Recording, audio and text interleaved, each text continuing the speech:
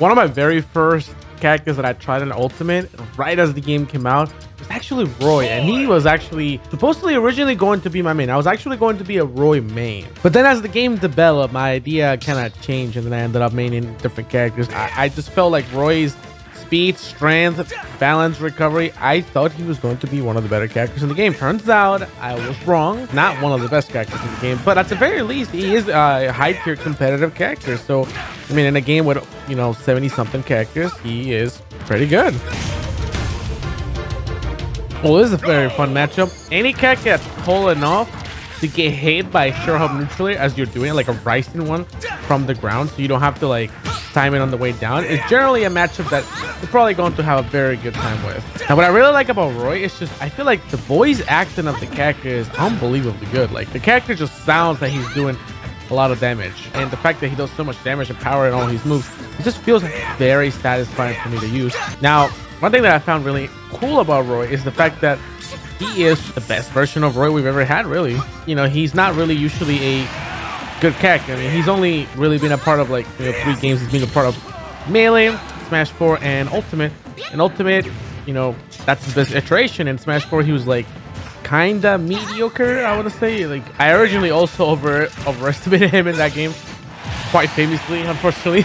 the reason I actually wanted to play Roy today was because Tweak won a tournament. I'm sure most of you guys know him, but in case you guys didn't know him, he's a professional player, and he won using uh, a counter pick of Roy in grand finals. So I was like really excited to you know try Roy as well. I was like, oh, I want to I want to play Roy now. So you hear that? You hear that? The voice acting is fantastic. Oh, that young force smash, yeah. I weakened the shield with the jab, and then I went for the force smash. No problem. You go, boy. The good thing about Roy's force smash in this game is that they changed it a little bit. So now you don't have to be immediately close to them. It's a little bit more mid-range. Not the tip of the sword, of course, but yeah, you have a little bit more range than in previous iterations for sure.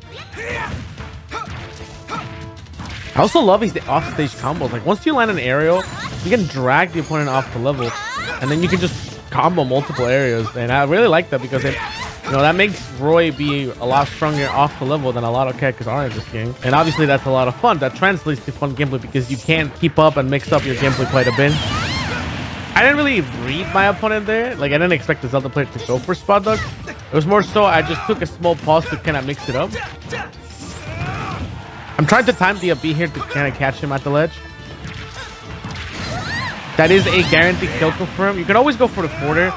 The back air is harder and depends on their DI, but it's definitely a lot stronger. You can kill people like at 70 or 80 with it. Also, Roy's forward has almost no lag. Because you can actually just like uh, short hop forward, Ryzen, and then you don't have to actually land at all. Like that. Oh yeah, that's the good amount of damage we needed. We gotta be careful here, Alan. oh, that killed me! Oh! Me so early too. Well, you already know what they say. That the game three, it's more exciting. Oh, almost caught the up B right there. Yeah, we get that early kill. I noticed that she had like a little habit of rolling. You see how Roy's combos just flow really well. Oh, unintentional combo. Well, I guess it wasn't really a combo because she managed to, I guess, land on the ground real quick. But it's one of those like aqua like position combos. Ooh, we get that three stock game three. There you go. We get that dominant win. It's not an option. Exactly. You'll tell him, Roy. Tell him. Tell him. Oh, we found the same Zelda player. Emergency best of five. Mitch the legend. I love how you can space his down tilt.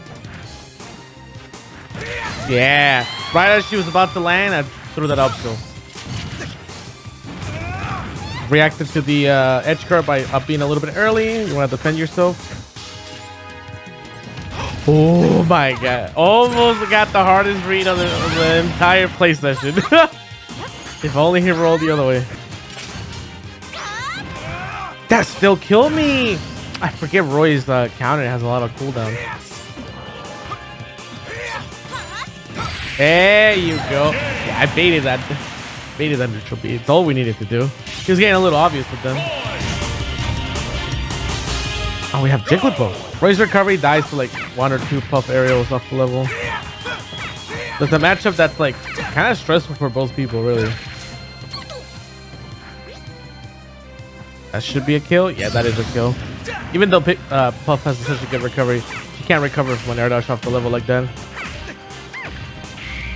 Ow, that combo. Ow.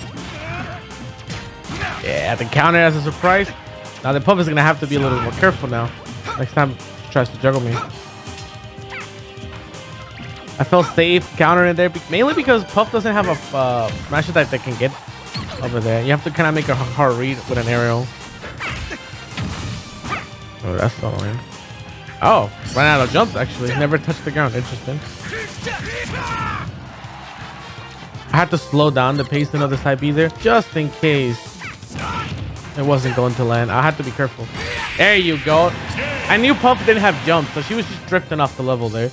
Like she didn't have like either she didn't have jumps or she had like one. I felt comfortable there covering the space. I was like, she's probably just backing out to the ledge. Let me just do like a reaching really far away uh, back air and that did the trick. Like the trick that I used is that instead of hitting where I think the opponent is going to drift towards driving the ledge, I kind of hit over here where I think they're going. Matchup is really interesting because not only is Snake one of the most common characters, but the way Roy and Snake interact with each other is that if you hit Snake's shield in any capacity with your sword and you're a little close, you're going to blow up the grenade. So how can you, you know, keep range from the grenade? Well, the interesting part is that if you actually space your uh, hits properly, you actually don't want to land sweet spots all the time because if you land sour spots, you can actually combo into, you know, a couple different things. But also, uh, is that even though Roy doesn't have the most range, uh, he can still outrange grenades and whatnot. And also, another very interesting thing to know is that no, you don't have to necessarily outrange the grenade. You can also just hit the part of Snake's body that doesn't cover the grenade. For example, his feet or his head are places that you can kind of snipe, if that makes sense. Like you see how I snipe his head there? Because remember, Snake pulls the grenade behind him and in his back. So you have to kind of just hit him everywhere else. Oh, damn, I threw the three stock. Oh no, never mind. Where are you going? I snipe his feet. Like I said, head and the feet. No, I try to be a little I try to delay a little bit so we'll grab it barely. See, there's some matchups where like characters are just more annoying if you're on the lead or not. For example, Snake is definitely one of those characters where like if you're losing, he's way more frustrating. Well, there's characters that are actually easy if you're slightly losing against them. For example, Peach is one of those characters. Now you may wonder why. Mainly because Peach gets like insane com uh, combos at low percent. But if you're behind by a certain uh, percentage threshold, you can't get combo anymore. It's more about straight hit. Oh, the weak hit. Oh, the weak hit killed him. Oh, that's hilarious. No! Game three. Ah, that was impeccable. There you go. Don't roll behind me like that. Hey, that's all we needed. The weak hit. Let's go. There. No, I got so greedy. There you go. Let's go. What a combo. What a combo to win game three. Let's go. Dark Pit and Pit are a little annoying for Roy, I want to say. Because these characters can jump in very annoying ways, have projectiles, so you don't... It's kind of annoying to approach them because they have good dash in, good dash attack to call out with sword punishes. And then the arrows make it annoying for you to recover as well. And then on top of it, they can just mix up their landing really well, making it hard for you to get a kill. There you go. Up front, right there behind me. Yeah, I like the fact that he landed on the platform like that. That way I can get some upper combos. Oh my god, the first hit triggered it, but the second killed me. Oh, he's catching me sweating. Now we need revenge because we got destroyed last match. Oh, I needed that strong pin. This is really tight. There you go. Let's go. Trying to beat that double jump right above me. There you go. I was like, if you feel pressure at the ledge, you're most likely to roll. So I just, I pretty much just put the fourth till there, covered the option. They ended up doing it. More than like me making a read. It was more me just covering option. Ah, wow, kill me. Oh, that guy risked everything. I think that would have killed me, probably. There you go. Waited for him to drift towards the ledge, and we got that back there. Same as the Puff Man.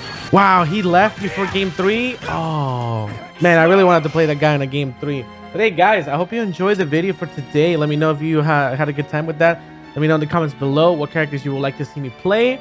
Make sure to subscribe so you keep up with my daily videos. Drop a like, you know, and obviously I'm always looking forward to you guys' feedback. With that said, you have a wonderful day, night, afternoon, wherever you are, and I'll see you guys around.